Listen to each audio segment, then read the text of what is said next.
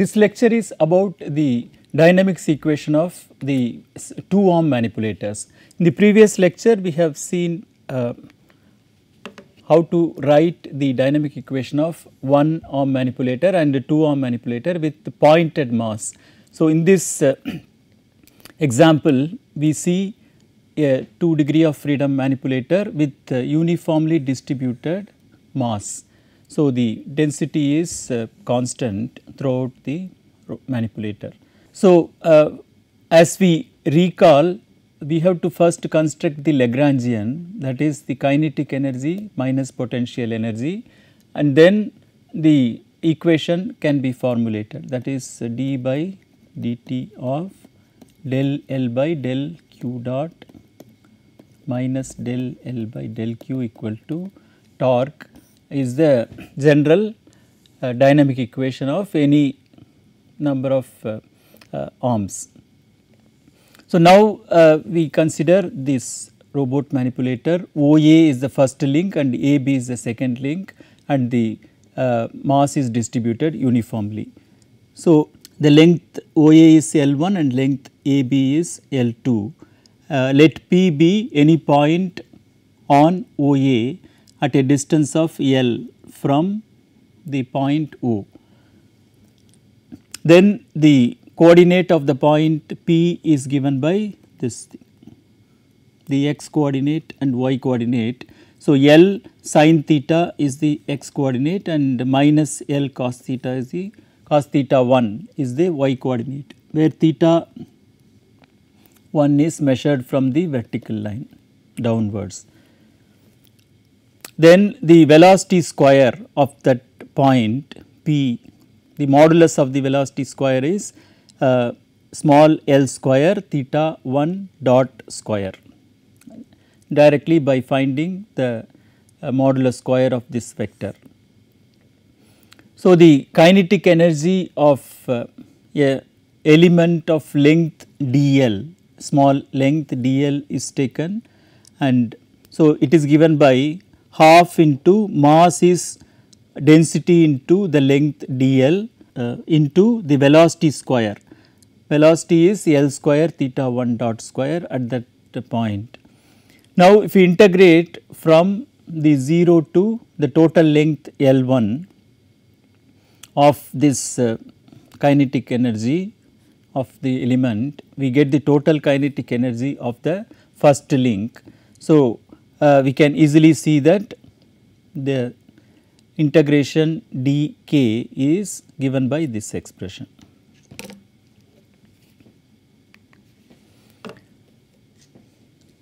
Now, we take the second link. For the second link, the let q be any point on this uh, link AB and it is at a distance small l from the point A. So, the coordinate of the point q is uh, the x coordinate for example, it is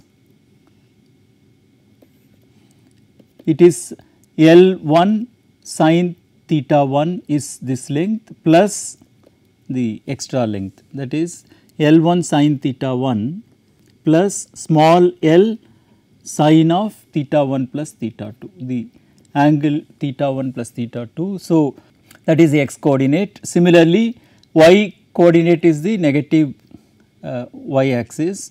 So, we get minus L 1 cos theta 1 minus small l cos of theta 1 plus theta 2. And velocity is the time derivative of the uh, position vector which is given by this expression and the modulus of the velocity square uh, can be directly calculated by taking the x component square plus y component square. So, the kinetic energy of the small element of length L is half into mass into the velocity square is this one and the total kinetic energy is the integration from 0 to L2 the length of the second link that is given by uh, this expression after directly integrating and substituting the limits we get. So, the total kinetic energy is K1 plus K2 the kinetic energy of link 1 plus kinetic energy of link 2 that is given by this by adding the previous two equations. Now the potential energy uh, for the link 1. So we take uh, this line L1 plus L2 line minus of L1 plus L2 uh, that is y.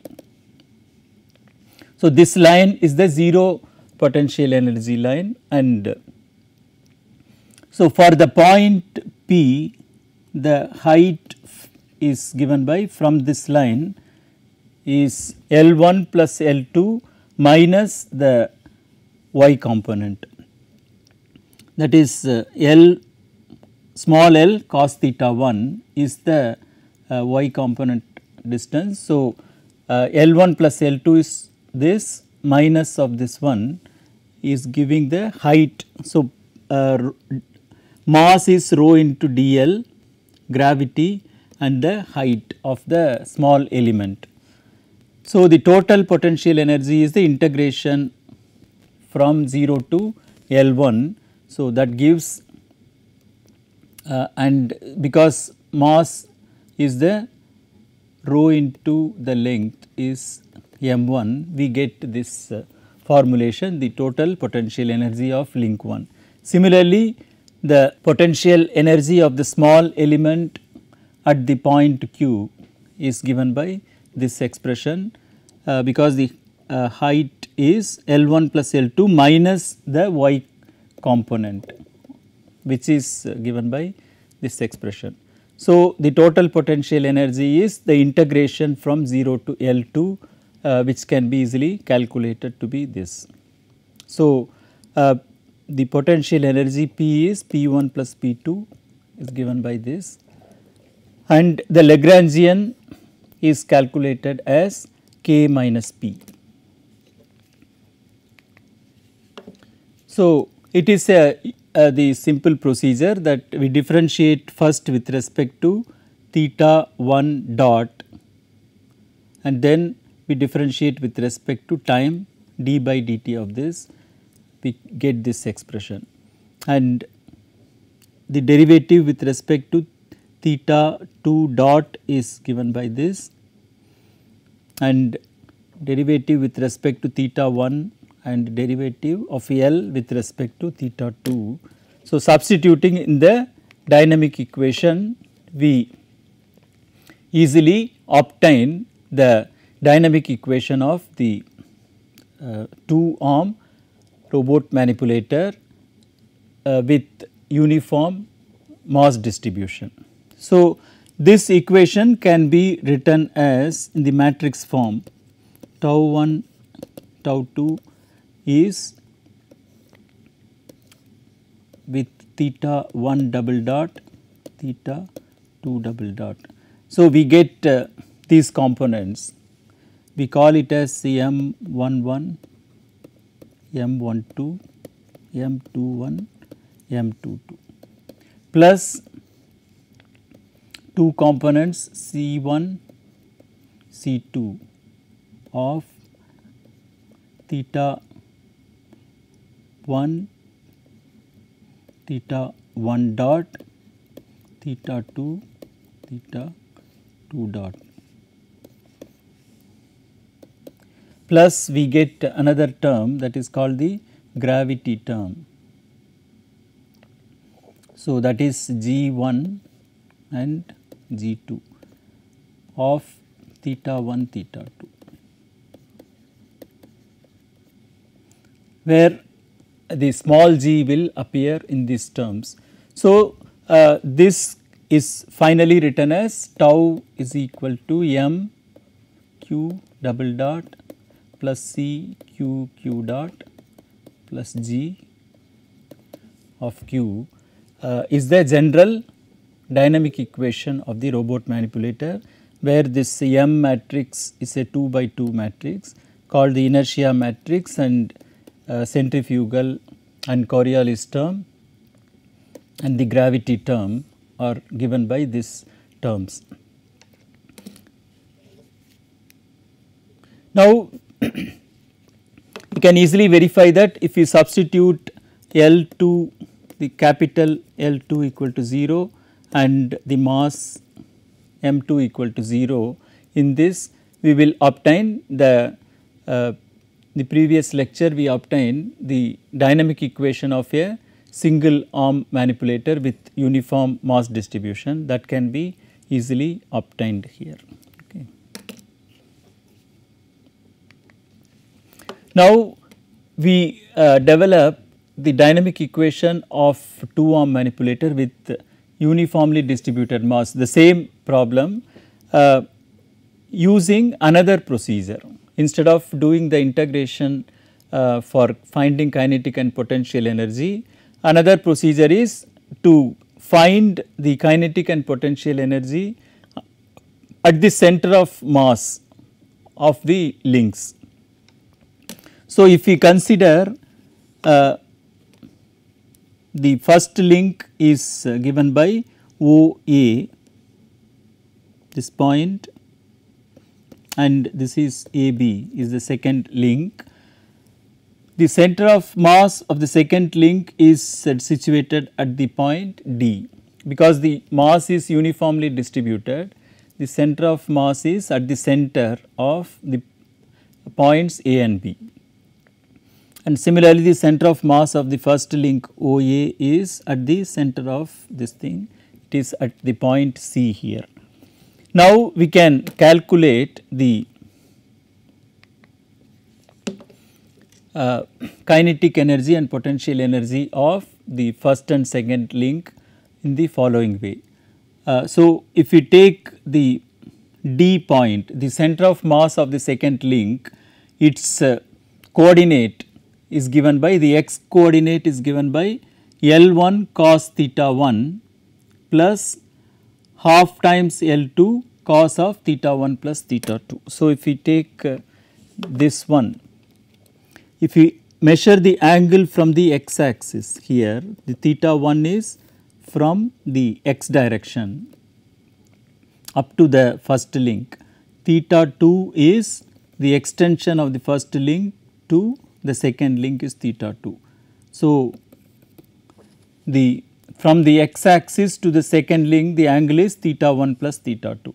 So, it is slightly different from the previous example where the theta is measured from the vertical line from the uh, negative uh, y axis we, are, we were measuring the angle theta here we are measuring theta from the x axis theta 1. So, uh, but we will arrive at the similar dynamic equation only irrespective of how we measure the angles with uh, slight modification in the terms. So, here the point xd and yd are given by this expression. From here we see that the x coordinate is L1 cos theta 1 and this is uh, L1 by L2 by 2 into sine cos of theta 1 plus theta 2. So, that is what is given in this expression. Similarly, the y component is given by this.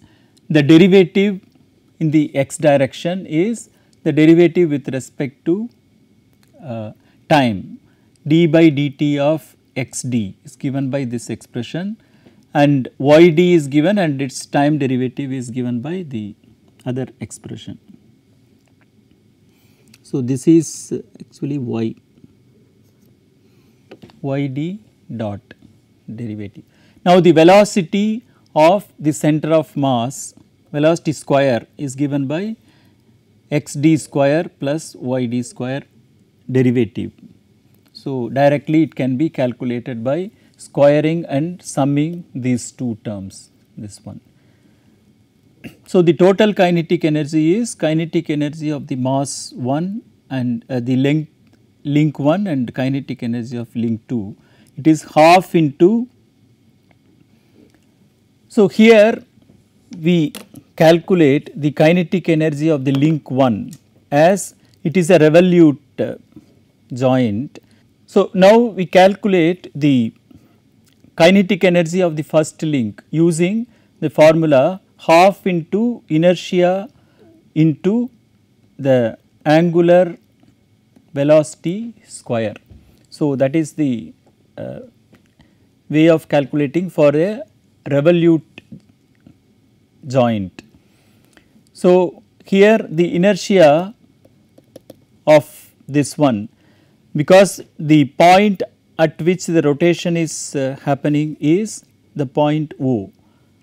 Uh, the torque is given at the point O here and the uh, joint is revolving. So, we have to calculate the inertia of this uh, it is mass into if you take a small mass of length dl. So, rho into dl is the small mass into the distance square, the distance from the point at which it is revolving, the distance if you are assuming to be L here, L square. So, mass into the distance square gives the inertia for the element of mass. So, we have to integrate it from 0 to L1 the total length. So, that gives rho is a constant L cube by 3 and the distance is 0 to L1. So, we get rho into L1 cube by 3 and rho into L1 is the mass of the first link M1 and L1 square by 3. So, we get 1 by 3 M1 into L1 square as the inertia of the first link.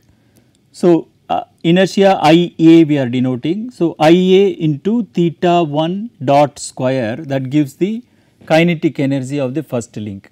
Similarly, the kinetic energy of the second link, it consists of two terms. One is half into inertia of the center of mass into the angular velocity theta 1 dot plus theta 2 dot whole square because the motion of this center of mass. So, the second link it is revolving about the center of mass while it is moving the center it is moving. So, we can see that uh, when we observe only the second link uh, we can see that it is revolving about the center of mass uh, at various positions. And uh, apart from that it is also moving with a linear velocity. So, there are two types of uh, motion happening to the second link. One is the uh, linear motion. So, it is given by the kinetic energy is given by half into mass into the linear velocity square. The second is happening because the link is rotating with respect to the center of mass. So, the angle angular velocity it is due to the two angles because uh, when the second link is moving theta 1 as well as theta 2 are uh, making uh, different changes at different time. So, theta 1 dot plus theta 2 dot whole square uh, causes the rotation and the inertia id the inertia of uh, uh, inertia with respect to the center of mass is calculated by this expression. So, here also it is the same type of calculation we take any arbitrary point from the center of mass let us say L is the distance between the center of mass and at any arbitrary point and a small element of uh, length dl is taken. So, uh, similar to this rho into dl into L square the only difference is the distance is uh, 0 to L2 by 2 because uh, from the center of mass the maximum distance from either side can be uh, L2 by 2. So, 0 to L2 by 2 uh, if we integrate the quantity rho into dl into L square, we will obtain the value 1 by 12 times mass m2 into the length square L2 square. So, this is obtained here and when we substitute this inertia and as well as the linear uh, the kinetic energy due to the linear velocity we obtain the total kinetic energy to be like this. The k1 plus k2 is given by this particular expression. Similarly, the potential energy, the potential energy due to the link 1 is given by uh, this expression, the mass into gravity into the length, the height is given by this so, here uh, the point the, the line of the 0 potential energy is taken to be the x axis. So, we note that uh, whichever line we take as the 0 potential energy it is not going to affect the dynamic equation. The previous example we have taken the line y is equal to minus L1 plus L2 this line So, this is the x axis and this equation is y equal to minus L1 plus L2 as the 0 potential energy line. Instead, we can take any uh, horizontal line as the 0 potential and the result will not affect the dynamic equation here. So, here uh, the height is to be taken from that point. So, the height is if we take any arbitrary uh, length L. So, we calculate from here for the link 1 mass into the gravity into uh, if we take any arbitrary for the first link if we take any arbitrary point P the height is given by because the length is uh, small l uh, from the origin. So, uh, the mass is rho into dl and gravity multiplied by the height. The height is uh, nothing but small l into sine theta. Mass in mg h is this this one is given by now if you integrate this from 0 to the total length we will get L square by 2 here and when we substitute the limit we will get uh, L1 so we will get rho into L1 square by 2 into sine theta theta 1 So, now rho into L1 is uh, will give the mass m1. So, we get m1 into L1 sine theta 1 by 2 is the potential energy for the link 1. Similarly, we can calculate the potential energy for the second link by taking any arbitrary point from the uh, point A and calculating the height from the x axis. So, the Lagrangian is k minus p kinetic minus potential energy and the usual substitution of k and p will give L like this and then the dynamic equation tau 1 is given by d by dt of del L by del theta 1 dot minus del L by del theta 1.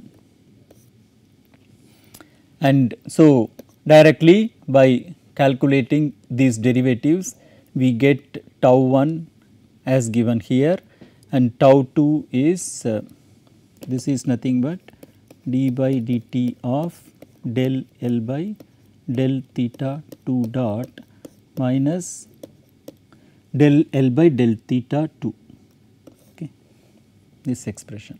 So, uh, this gives uh, the dynamic equation of this one and again we can write uh, it in the form of the matrix tau 1 tau 2 as we did in the previous uh, example we get m11 m 1 2 m 2 1 m 2 2 theta 1 double dot theta 2 double dot plus C1 C2 the gravity uh, the centrifugal term and G1 G2 the gravity terms. So, a general dynamic equation is obtained for the two link manipulator. So, here we note that the previous example we measured the angle from the downward vertical line. So, if we convert so these two equations will be slightly different because here we are measuring from the x axis and previously we were measuring from the downward y direction.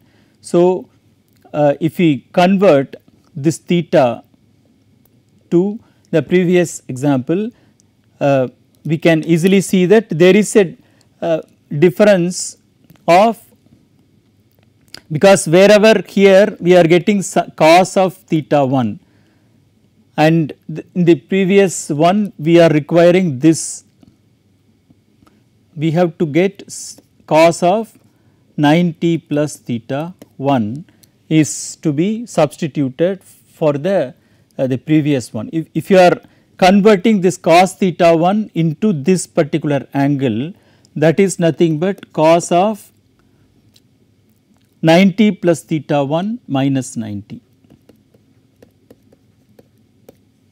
is not it the uh, if we measure from the bottom uh, vertical line it is 90 plus theta 1 but we are having theta 1 only. So, 90 plus theta 1 minus 90 is the cos theta 1 in this example.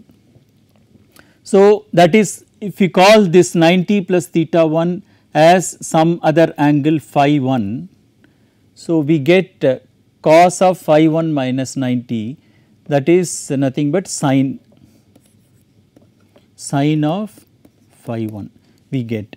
So, uh, wherever cos theta 1 appears if you replace it with uh, phi 1 we get the previous formula. Similarly, wherever sine theta 1 appears we can uh, replace it with cos phi 1. So, uh, we can observe that in this uh, dynamic equation wherever this theta 1 is appearing because theta 2 is uh, no difference because it is the same type of measurement in both the examples.